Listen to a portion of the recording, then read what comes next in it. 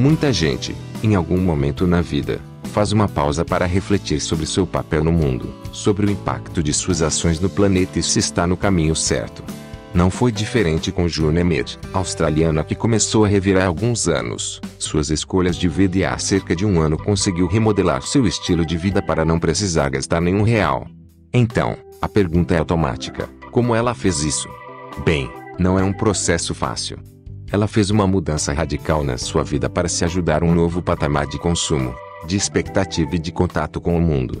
Ela pediu demissão de onde trabalhava e decidiu viver com aquilo que fosse fruto de suas próprias mãos, sua horta. Ela conseguiu um espaço para viver, no quintal de seu amigo, em Conorigan, na Austrália, e vive lá acampada sem pagar aluguel.